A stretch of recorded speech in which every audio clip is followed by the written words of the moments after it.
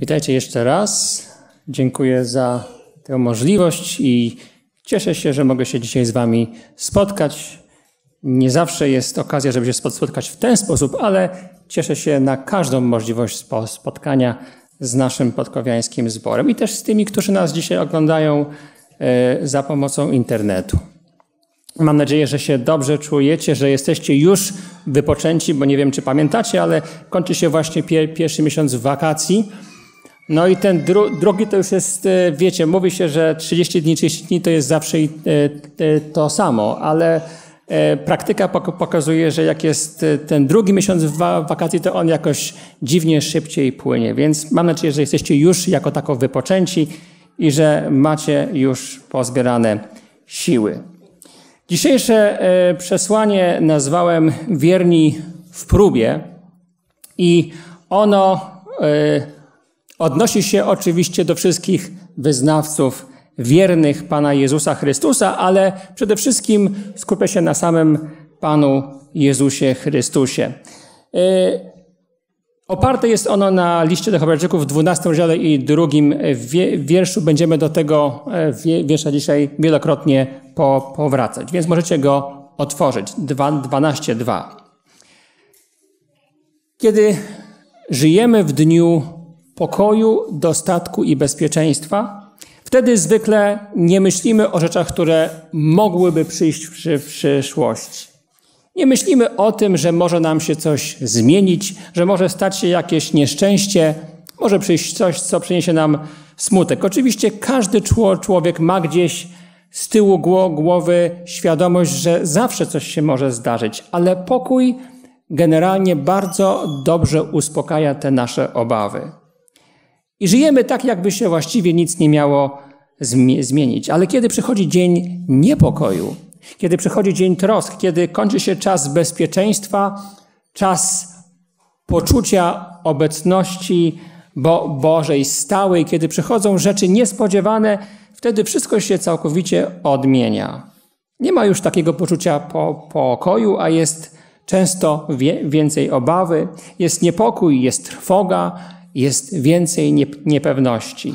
Nasze lęki ukryte w czasie pokoju tym razem znowu wychodzą ba bardziej na światło dzienne. Wszystko sta staje się inne. Wszystko się odmienia. Życie staje się ponownie tru trudniejsze. Ale wiecie, czasami takie doświadczenia są czymś niezwykle pożytecznym i potrzebnym.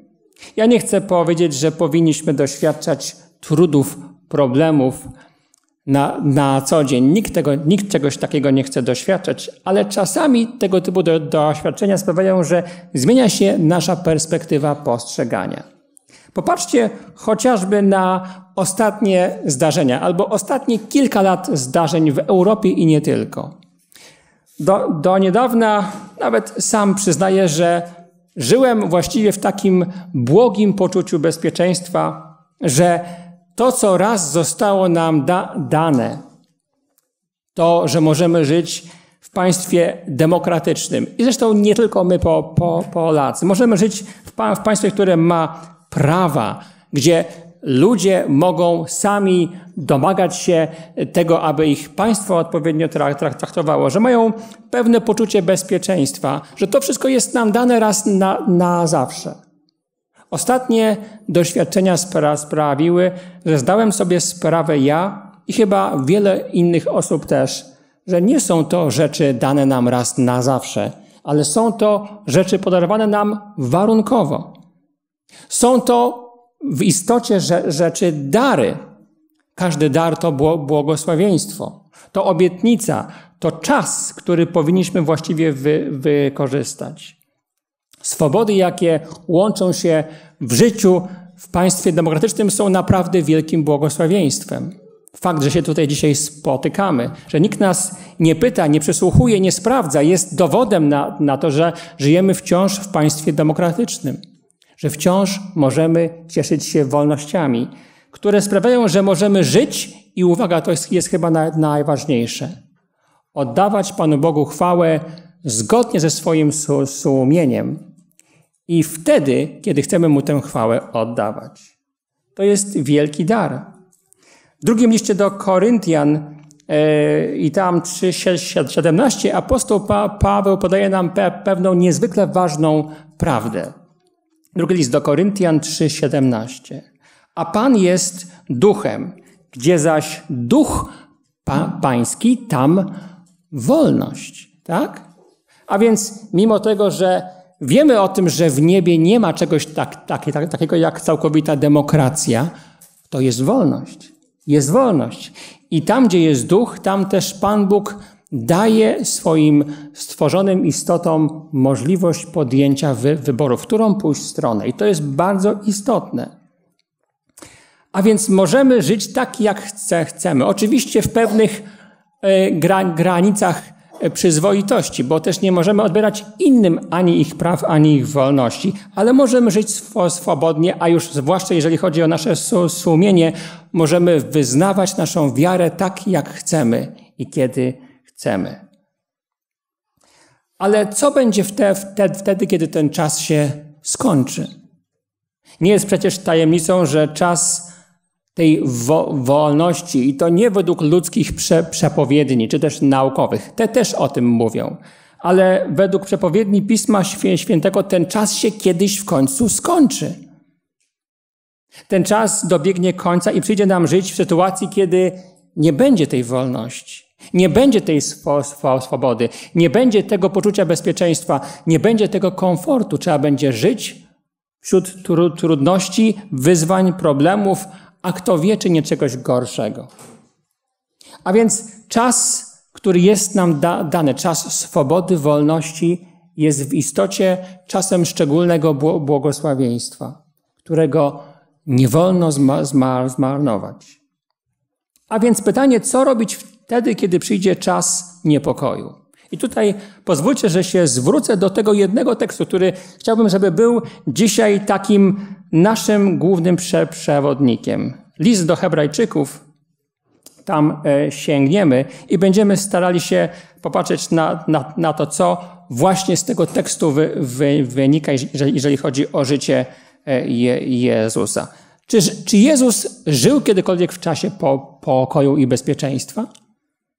Żył. Żył. Wiemy o tym, że przez 30 lat swojego życia mniej więcej doświadczał jako takiego bezpieczeństwa. Wiemy też o tym, że to życie nie było łatwe, że było wiele wyzwań, trudności, pokus, nawet od dziecka, ale ten taki relatywny pokój był. Tak jak i, i dzisiaj, tak? Ale kiedy nadszedł czas, aby coś zro zrobić, aby podjąć ważną decyzję, Jezus, co prawda nie bez problemów, nie bez bólu, nie bez cierpienia, ale podjął decyzję, aby pójść w odpowiednią stronę i tam zdecydować, co będzie da dalej. Jak wiecie, wstąpił na drogę służby, trzy i półletniej trudnej, pe pełnej wymagań służby i podczas tej służby oddał wszystko, co miał drugiemu człowiekowi. Sam nie zostawił sobie nic. Po czym wiemy, że kiedy te 3,5 roku się zakończyło albo miało się ukończyć, Jezus podjął jeszcze trudniejszą de, de, decyzję. Tam w ogrodzie Getsemane zdecydował się oddać nawet swój honor jako syn Boży. Oddać wszystko, przyjąć na siebie grzech, upodlenie ludzkiego rodzaju, przyjąć wszelkie konsekwencje ludzkiego złego postępowania i pójść z tym do przodu i z, czo, czo, czo, czołem ustawionym wprost, nie wstydząc się tego, co się stało. Był czas, o którym Pan Jezus wie, wiedział, że będzie musiał to zrobić. Jak sprawozdaje książka Życie Jezusa, stało się to w pewnym sensie o północy, czy dosłownie, czy, czy symbolicznie. Nadszedł czas ciemności, kiedy Jezus musiał zdecydować kiedy musiał zdecydować, czy pójść w stronę życia, w stronę radości, czy też pójść w stronę smutku i jeszcze większego poświęcenia. Jakby tego, co zrobił do tej pory, było za, za mało. Ale wiecie, Jezus przez całe swoje życie uczył się tego, czego nam się bardzo nie chce uczyć. Jezus uczył się posłuszeństwa. Wiem, że to jest niemodne słowo. Nam się zwykle wydaje, że człowiek jest objęty na tyle jakby pewnym marginesem łaski, że posłuszeństwo jest mu niepotrzebne. Ale Jezus był, był posłuszny i to mu poczytano za, za błogosławieństwo, właśnie to. A więc jest jakieś błogosławieństwo w posłuszeństwie, przynajmniej o tyle, że człowiek się uczy we właściwym czasie tego, czego się po, powinien uczyć. Przecież Bóg, który czegoś od nas oczekuje, albo nas czegoś chce uczyć, nie chce nas uczyć rzeczy złych, albo o złym czasie, tylko chce nas uczyć rzeczy pożytecznych o właściwym cza czasie.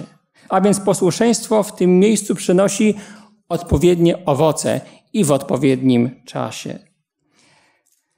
Tak się stało, że Jezus uczył się przez 3,5 roku tej wierności, tego posłuszeństwa, a na końcu, kiedy przyszło mu obrać drogę poświęcenia całkowitego, wytrwał i poszedł na najtrudniejszą drogę, jaką mógł ktokolwiek sobie wyobrazić. Najtrudniejszą dro drogę. A więc musimy sobie teraz za zadać py py pytanie, co w tak, takim razie Pan Jezus e, zrobił, aby móc podjąć tak mądre de decyzje właśnie we właściwym, e, we właściwym cza cza czasie? Otwórzmy list do Hebrajczyków, 12 ro ro rozdział. I tam, już mówię, list do Hebrajczyków, 12 ro rozdział. I tam wiersz drugi.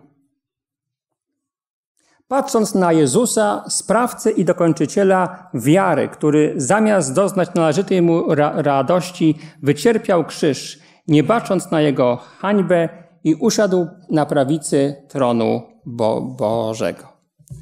W tym miejscu można znaleźć kilka, kilka bardzo ciekawych, ważnych informacji. Zacznijmy od tego, że Pan, Pan Jezus, jak tutaj jest napisane, obrał świadomie nie radość, a coś innego, tak? Czyli Pan Jezus mógł doznać wszelkiej ra radości. Pytanie, zasłużył czy też nie? No tak. Przecież raz, że jest synem Bo Bożym, a dwa, że był jako człowiek niewinny. Nam się to zwykle ko ko kojarzy z nagrodą za posłuszeństwo, a więc Pan Jezus na pewno zasłużył sobie na błogosławieństwo, na radość i na spokojne życie. Tak? Mógł otrzymać to, a jednak tego nie przyjął. Drugi list do, do Koryntian 8, 9. Drugi list do Koryntian 8, 9. Albowiem znacie łaskę Pana na, naszego Jezusa Chrystusa, że będąc bo, bogatym stał się dla, dla was ubogim, abyście ubóstwem Jego ubogaceni zostali.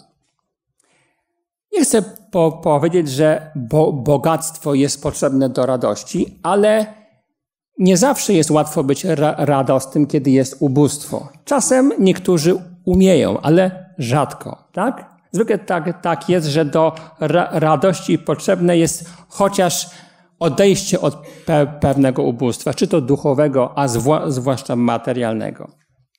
Pan Jezus mógł mieć życie radosne, ale nie chciał.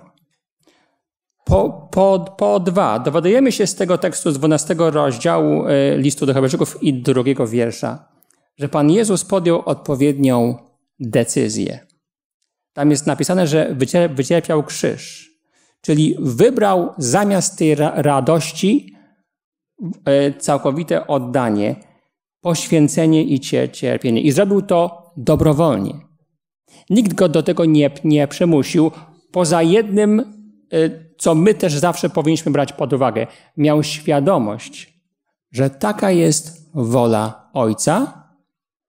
I dwa, miał świadomość, że tylko w ten sposób będzie mógł dokonać to, tego, po co został posłany na ziemię.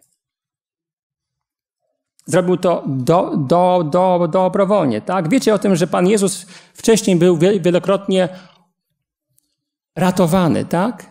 Była ręka niewidzialna, która go zawsze ratowała. Wtedy, kiedy go chcia, chciano albo zrzucić ze skały w Nazarecie, czy w innych sytuacjach, kiedy go chciano ukamienować, on zawsze uchodził be bezpiecznie. Dla, dlaczego? Bo była ochrona.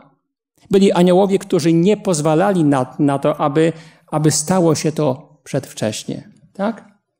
A tutaj jest napisane, że Pan Jezus zgodził się na, na to, aby przyjąć krzyż, przyjąć hańbę, bo krzyż to była oznaka haniebnego postępowania. To była ka kara poniżająca. Wiecie o tym, że, że skazańcy wisieli na, na, na krzyżu nago. Tak? To był, to był znak haniebnego postępowania. I po drugie, krzyż to jest też oczywiście straszne cierpienie. Pan Jezus przyjął jedno i drugie. Pan Jezus był na to jednak przy, przygotowany. Pamiętajcie o tym, że Pan Jezus przez 3,5 roku szykował się na ten czas. Tak? Szykował się na, na, na, na ten czas. Wiedział o tym, że to, to, to ma przyjść w przeciwieństwie do, do, do jego wiernych i oddanych uczniów. A ci się nie szykowali. Tak? Oni się szykowali po, pozornie. Wiecie o tym, że tak naprawdę w tym wła, wła, właśnie tkwił błąd i Judasza, i Piotra. Judasz uważał, że ta ochrona, którą Pan Jezus miał do tej pory, bez problemu go uratuje wtedy, kiedy przyjdą żo żo żołnierze. I liczył na, na, na to, tak? A Piotr uważał, że nawet jak przyjdą żołnierze albo coś się stanie, to, to co? Weźmie do, do ręki swój miecz i będzie, i będzie się bił. I to nie były czcze słowa, bo przecież wie, wiecie o tym, że Piotr istotnie tak zrobił wziął miecz do, do, do ręki, czyli go miał przy, przy sobie, był przygotowany i był gotów, jak przypuszczam, walczyć aż do śmierci. Bo, e, bo przecież był sam, albo tam było ich bo, może dwu, dwu, dwunastu tam, czy kilku, tak? Bardzo nie, nie, niewielu. A tutaj był cały wielki tłum i żołnierze. Więc miał od, od, odwagę. Kiedyś za taką wiarę w Izraelu przeszłoby szczególne błogosławieństwo. W tym przypadku było dokładnie odwrotnie. A dlaczego? Bo zarówno Judasz, jak i Piotr zapomnieli o tym, albo nie zapamiętali te, tego, że czas szczególnej ochrony, która była dana Jezusowi, miał w pewnym mo mo momencie zostać odjęty, że ta łaska, ta ochrona miała zostać odebrana. Po trzecie, czego się jeszcze dowiadujemy z tego tekstu yy, w liście do Hebrajczyków? Jakie są konsekwencje wyboru Pana Jezusa? Pan Jezus nie tylko wybrał, aby pójść na krzyż, ale też to zrobił. Tak? Nie tylko słowa, ale i czyny. Był konsekwentny. Jak już się zdecydował, to się nie wycofał, tak? Nie zmienił zdania, mimo tego, że, jak wiecie, szatan robił wszystko, żeby się poddał, żeby nie wytrzymał żeby się załamał, żeby stał się zwykłym, bardziej mściwym albo bardziej sprawiedliwym człowiekiem, a on musiał wytrwać w szczególnej niesprawiedliwości. Był konsekwentny. Zgodził się na pośmiewisko, obelgi, na biczowanie, na to, to, to, to, tortury, straszne kłuszenie i wreszcie na ukrzyżowanie. Zgodził się dobrowolnie. Księga Izajasza, 53 rozdział i tam trzeci, bardzo znany wiersz. Jest tam napisane tak, wzgardzony był i opuszczony przez ludzi. Przeżył i pogardę, i samotność. Samotność w poniżeniu. Wiecie, jak człowiek jest popularny i znany, to zwykle ma bardzo wielu przyjaciół, ale jak przychodzi na niego hańba, to zwykle jest sam. Jezus tego w pełni do, do, doświadczył. Był całkowicie sam. Był właściwie całkowicie sam. Jest napisane, że w wierszu siódmym pisze Izajasz, że, że się nad nim znęcano i on to znosił w pokorze, tak? Czyli jego podejście do, do, do, do tej strasznej niesprawiedliwości było ta, ta, ta, takie, że on swoich ust nie otworzy. Nie, nie otworzy. Te rzeczy mogą przyjść tylko i wyłącznie od Boga. Pan Jezus, mimo tego, że oddzielony od, od Ojca przez grzech, cały czas był pod wpływem Ducha Bożego. Cały czas był skupiony na tym, jaki jest Bóg. I dlatego cały czas patrząc na ludzi, którzy byli jego oprawcami, nie widział nic poza możliwością ich uratowania. Nie widział nic poza tym, że ci ludzie są biedni i nieszczęśliwi. Tak jakby ktoś odjął mu ból i psychiczny, i duchowy, i fi fizyczny i pozwolił mu patrzeć na to z dystansu. A przecież wiemy, że to jest nieprawda. Te wszystkie rzeczy spadły na, na, na niego w bolesny i rzeczywisty sposób. Idziemy dalej. Czwarty punkt. Jakie były e, konsekwencje podjęcia tej decyzji i pójścia tą drogą? No, czy, czy, czy, czytamy w liście do Hebrajczyków, że e, jak apostoł Paweł podaje, że e, Jezus usiadł po, po prawicy tronu Bożego. A więc Jezus został w konsekwencji tego tak? Wy, wyrwany z rąk śmierci. Wypił kielich gniewu aż do, do końca i wszystkie rzeczy, rzeczy które miały na, na niego przyjść, przyszły, aż umarł. Ale zgodnie z Bożą obietnicą i z poczuciem Bożej, a nie ludzkiej sprawiedliwości, Jezus został wyrwany, wyrwany ze, ze śmierci, wstąpił do nieba i tam przed całym wszechświatem mógł dostąpić pełnego usprawiedliwienia. Tam już nikt nie mówił, że jest zdrajcą, że jest samozwańcem, że jest oszustem. Tam wszyscy wiedzieli, kim jest naprawdę. Objawienie piąty rozdział, siódmy wiersz. I przystąpił i wziął księgę z prawej ręki tego, który siedział na, na tronie, wziąć wziąć księgę z ręki tego, który jest na tronie, to jest przyjąć dosłownie mianowanie do tego, aby zostać królem, władcą, tak? A gdy ją wziął, upadły przed ba barankiem cztery postacie i dwudziestu czterech starców. A dlaczego upadły? Wiersz, yy, wiersz dziewiąty i dziesiąty tego samego piątego rozdziału objawienia. Godzien jesteś wziąć księgę, powiedzieli wszyscy w niebie i zdjąć jej pie, pieczęcie, ponieważ zostałeś zabity i odkupiłeś dla Boga krwią swoją ludzi z każdego plemienia i języka i ludu i narodu. Dlaczego Pan Jezus był godzien, aby być w niebie wywyższony i usprawiedliwiony? Dlatego, że przyjął na siebie ten straszny los. Że odmówił radości i że zgodził się poświęcić samego siebie i to nie tylko raz, a co najmniej trzykrotnie, bo wiemy o tym, że stąpił z nieba na, na ziemię, potem będąc na, na tej ziemi przy, przyjął swoją misję i na końcu zgodził się umrzeć za człowieka. I wreszcie piąty punkt. Pan Jezus w konsekwencji doznaje jeszcze jednego błogosławieństwa. Wiecie, jak, jakie ono jest? Jest to błogosławieństwo pełnej radości. Tutaj jest na, napisane, że Jezus był sprawcą i dokończycielem wiary, jak podaje autor listu do Hebrajczyków. Doznaje pocieszenia, ale uwaga, nie przed, a po wykonanym zadaniu. Nie przed, a po próbie. Szatan podczas kuszenia na pustyni chciał skłonić Jezusa do przyjęcia radości i nagrody przed dniem próby. Pan Jezus tego nie przyjął, bo wiedział, jakie będą konsekwencje. A dlaczego? Bo myślał nie tylko o sobie, myślał wciąż o tych, dla których On był jedynym ratunkiem. A zatem to, czego sobie Jezus odmówił wcześniej, dla człowieka, żeby go uratować, zostaje mu w pełni od, oddane, a nawet więcej.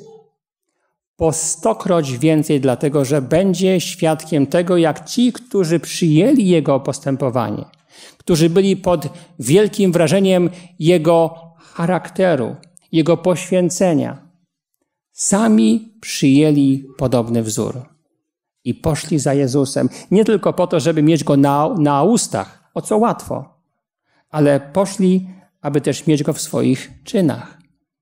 I żeby w odwadze działać tak samo jak on.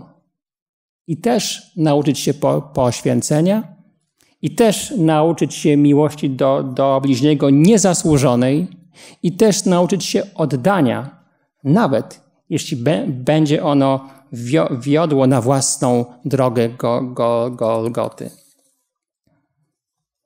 Księga Izajasza 53, ro, ro, rozdział i wiersz 10 i 11. Gdy złoży swoje życie w ofierze, ujrzy potomstwo, będzie żył długo i przez niego wola Pana się spełni. Za mękę swojej du duszy ujrzy światło i jego poznaniem się nasyci. Za mękę swojej du duszy otrzyma pocieszenie. I teraz pomyślmy na, na końcu, w jaki sposób moglibyśmy odnieść te słowa, to doświadczenie opisane w tym krótkim wie, wie, wie, wierszu listu do Hebrajczyków, do naszej chrześcijańskiej rzeczywistości. Wiecie, my też mamy pra prawo doznać ra radości. W gruncie rzeczy każdy z nas pragnie odczuwać ra ra radość, dlatego że smutek jest rzeczą nieprzyjemną. Obawy, lęk, wszystko to, co niesie z sobą to, to życie, albo co może nieść to, to życie, budzi w nas strach. Nic więc dziwnego, że lubimy radość. Czemu? Bo radość jest najlepszym środkiem na zapomnienie. Kiedy człowiek się cieszy, wtedy nie pamięta. Wtedy nie myśli. Nie myśli o tym, że coś się może stać, nie myśli o tym, że może przyjść nieszczęście, nie myśli o tym, co będzie w przyszłości, nie myśli o tym, co będzie ze, ze światem. Radość pozwala nam zapomnieć. Czy Pan Bóg nam odmawia tej ra radości? Nie. Gdyby nam jej odmawiał, życie byłoby naprawdę straszne. Pan Bóg tę radość daje i to, i to w obfitości. Pan Bóg nie ma nic przeciwko temu, żeby człowiek od czasu do czasu lekko się zapomniał. Żeby mógł żyć w taki spo sposób, żeby się cieszyć. Powiecie, śmiech to zdrowie żeby mógł myśleć o tym, co po, pozytywne i żeby nie myślał o tym, jakie Bóg powierzył mu za, za zadania. Ale faktem jest, że przecież kiedyś, kiedyś przyjdzie czas, kiedy trzeba, trzeba będzie spojrzeć pra, prawdzie w oczy. Ktokolwiek jest powołany przez Pana Boga, ten ma też swoje powołanie do misji. Każdy ma inną. Każdy ma inne zadanie do wykonania, ale każdy je ma. I wiecie, jest też, myślę, bardzo po, podobnie, że jest czas po, pokoju, ale też przyjdzie czas niepokoju. Jest czas ochrony i błogosławieństwa, ale przyjdzie czas, kiedy ta ochrona będzie nam odebrana. Nic zatem dziwnego, że my chcemy tej radości jak najwięcej. Ale przecież Pan Jezus po, powiedział do, do nas, że on y, nie, zamiast doznać tej należytej ra radości, sam wycierpiał krzyż. Sam wycierpiał krzyż. A więc pojawia się pytanie, czy nas będzie stać na podjęcie właściwego wyboru. Wiecie, Pan, Pan Bóg daje, daje, daje nam zawsze dwie opcje. Pan Bóg zawsze otwiera przed nami drzwi do podjęcia świadomej de decyzji i nas nie przymusza. Jedno jest jednak wi wi wiadome. To, że my czegoś nie chcemy albo wy wybieramy ze, swo ze swojej świadomości, nie chcemy o tym myśleć, nie znaczy, że tego nie, nie będzie. To, że my nie chcemy, żeby przyszły czasy ko końca, które będą trudne, nie znaczy, że one nie przyjdą. To, że będziemy przed, przed nimi uciekali na różne spo, sposoby, nie znaczy, że to będzie skuteczne. Czas jest przez Pana Boga bardzo dokładnie wymierzony i musimy się z tym liczyć. Rzeczywistość jest taka, jaka jest. A więc musimy podjąć de decyzję podobnie jak Pan Jezus i o tym, co jest dzisiaj, ale też i o tym, co będzie jutro. Pan Jezus po, powiedział takie słowa, Ewangelia Mateusza, 16 rozdział i tam 24 wiersz. Wtedy Jezus rzekł do uczniów swoich: Jeśli kto chce pójść za mną, niech się zaprze samego siebie i weźmie krzyż swój i niech idzie za mną. Ja wiem, że można byłoby po powiedzieć, że jest bardzo du du dużo obietnic i pozytywnych też słów ze strony Jezusa wobec swoich wyznawców i chwała Bo Bogu Pan, e, za, za to, tak? Że mamy te obietnice, bo jest napisane, że Pan Bóg zawsze jest z nami. Nawet wtedy, kiedy przyjdzie czas tego pozornego osamotnienia, tak? Tej pró pró próby, nikt, nikt z nas nie będzie sam, tak? Mogę, może być, ta, ta obecność może być in, inaczej odczuwalna, tak? Ona może być, ona się może inaczej re, realizować. Czy Pan Jezus na, krzyż, na krzyż, krzyżu był sam? Czy był sam? Nie. Nie. Jeszcze nawet parę dni temu czytałem takie słowa, które pierwszy raz znalazłem. Nie wiem, jak to się stało w książce Ży Życie Jezusa. I tam było coś napisane takiego, co wzbudziło moje zaciekawienie. Nawet nie wiem sam, jeszcze co o tym myśleć, ale tam było na, na, napisane i tutaj parafrazuję, że przy krzyżu byli aniołowie, a z aniołami był Bóg o, o, Ojciec. Cokolwiek to oznacza. Ja wiem tylko ty, tyle, że Pan Jezus na krzyżu nie był sam, chociaż On odczuwał dotkliwie sa, samotność. A więc ten krzyż to na szczęście nie jest taki krzyż, który niósł Pan Jezus. Ale Pan Jezus nas zaprasza, abyśmy tak samo byli gotowi wziąć na, na siebie nasz krzyż. Abyśmy byli przygotowani, że ten krzyż ktoś musi ponieść. I że poniesienie tego krzyża owszem może być trudne, owszem może być wymagające, ale jego owoce, jego owoce nie tylko dla, dla nas, ale dla tych, którzy patrzą na, na to, czy my bierzemy ten krzyż, czy też nie. I jak go niesiemy, owoce mogą być bardzo cenne. Ilu ludzi patrzy nam na, na ręce? Ilu ludzi ocenia nasze postępowanie pod kątem tego, kim jesteśmy? Dla ilu ludzi mniej odważnych niż my, nasz krok w stronę Pana Boga może być decydujący w, przy, w przyszłości. Myślicie, że jest ktoś z Was, kto nie ma tej odpowiedzialności? Nie ma. Na każdego z nas ktoś inny pa, pa, patrzy, ktoś, kto ma mniej odwagi niż my, ktoś, kto oczekuje, że otrzyma do, dobry wzór, dobry przykład. Pan Jezus chce, żebyśmy nie bali się pójść w dobrą stronę, dlatego że nie będziemy nigdy sami. On będzie z nas z nami. A więc jakie będą konsekwencje tego wy wyboru? Wiemy. Wiemy, że kiedy pójdziemy za Panem Je Jezusem, te rzeczy, które są za zapowiedziane, one się zdarzą. Ta radość, która, która się zbiega z naszą wo wo wolą dla, dla nas, może nam będzie odebrana, ale będzie obietnica radości, która przyjdzie do nas na samym końcu. Na samym ko ko końcu, tak? Pan Jezus nam dał też taką obietnicę. Mateusza 10, 2, 20. Bardzo znane słowa. Albowiem będzie wam dane w tej godzinie, co macie mówić. Bo nie wy jesteście tymi, którzy mówią, lecz duch Ojca waszego, który mówi w was. Kiedy przyjdzie czas prób, prób, próby, kiedy trzeba będzie stanąć i powiedzieć, kim jestem i nie zaprzeć się swojego własnego ja, nie udawać kogoś innego. Pan Jezus daje obietnicę tym, którzy wcześniej podjęli właściwą de de de decyzję i mówi: Nie bójcie się, bo ja was nie zostawię. A jeśli wam zabraknie mądrości, ja wam ją dam. Jeśli wam zabraknie odwagi, nie bójcie się, ja też ją wam dam. Nie bójcie się, bo ja jestem z wami. I wreszcie ostateczne konsekwencje podjęcia tej, tej dobrej, właściwej de, de, de, decyzji we właściwym cza, czasie. Jest mi ciężko bardzo ocenić, jak, jakie one będą, bo one są indywidualne. Każdy z nas ma troszkę inną odpowiedzialność. Na każdego z nas patrzą inni lu ludzie, każdy ma inne powołanie. Ale nie mam wątpliwości, że jeżeli to powołanie przyjmiemy, jeżeli będziemy szli w mocy Bo Bożej i będziemy starali się właściwie po postępować, to Pan Bóg sprawi, że te owoce na końcu będą. Będą.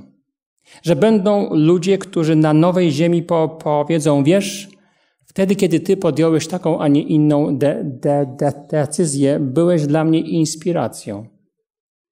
To sprawiło, że nabrałem odwagi. To sprawiło, że zapragnąłem być taki jak ty. Może nie chodzi o wzór, bo to jest tylko człowiek, ale taki wierny jak ty. Słaby. Bo przecież wiemy o tym, że najwięksi są ci, którzy są naj, naj, najsłabsi. Apostoł Paweł, jak wiecie, nie wstydził się przyznać do, do tego, że wtedy, wtedy, kiedy jest najsłabszy, wtedy jest najsilniejszy. Tak to właśnie działa. A więc jakie będą te konsekwencje? Dobre. Dobre. Jest bardzo wiele tekstów, które, które o tym świadczą. Pozwólcie, że ja tylko odczytam jeden z nich, który jest dla odmiany ze Starego Testamentu. Księga y, Jeremiasza, y, bardzo znany tekst, 29 ro, ro, rozdział. I tam wiersz 11. Te słowa by, by, były wypowiedziane do, do Izraelitów, którzy, którzy mieli pójść do, do niewoli, którzy mieli doświadczyć próby. Ale Pan Bóg patrzył w przód i mówił: Nie bójcie się, nie bójcie się, bo czeka na was za, zapłata. Ja wiem, jakie mam myśli o was, mówi Pan. Myśli o pokoju, a nie o niedoli, aby wam zgotować przyszłość i natknąć was nadzieją. Tak? I potem y, wiersz 14. Objawię się, się wam, mówi Pan, odmienię wasz los i zgromadzę was ze wszystkich na narodów i ze wszystkich miejsc, do których was roz, roz, rozproszyłem, mówi Pan, i sprowadzę was z powrotem do, do miejsca, skąd skazałem was na wy, wy, wygnanie. Pan Bóg obiecuje, chociaż w naszych czasach będzie to nieco inaczej, że przyjdzie czas prawdziwej, sprawiedliwej za, zapłaty. Że Pan Bóg da nam radość, którą którą, która nam mogła być odebrana. I na nowej ziemi będziemy patrzeć na to, jakie są skutki, jakie są owoce naszej wierności i naszego posłuszeństwa. I chciałbym zakończyć to słowo tekstem właśnie z listu do Hebrajczyków. I tutaj dwunasty rozdział, ponownie wracamy tam, gdzie byliśmy na początku. List do Hebrajczyków, dwunasty rozdział. I tutaj od wiersza pierwszego. Przeto i my, mając około siebie tak wielki obłok świadków, złożywszy z siebie wszelki ciężar i grzech, który nas usidla, biegnijmy wytrwale w wyścigu, który jest przed, przed, przed nami. I tutaj jest ten właśnie wiersz patrząc na Jezusa, sprawcę i dokończyciela wiary, który zamiast doznać należytej mu radości, wycierpiał krzyż, nie bacząc na jego hańbę i usiadł na prawicy tronu Bożego na końcu. Jest wokół nas wielki obłok świadków, którzy już dokonali wy wyboru przed nami. I są to ci, którzy powinni nas skłaniać do tego, abyśmy i my podjęli właściwy wybór, choćby by, był to i krzyż, i poszli za, za Jezusem bez względu na, na wszystko. A On zatroszczy się o wszystkie pozostałe sprawy. Amen.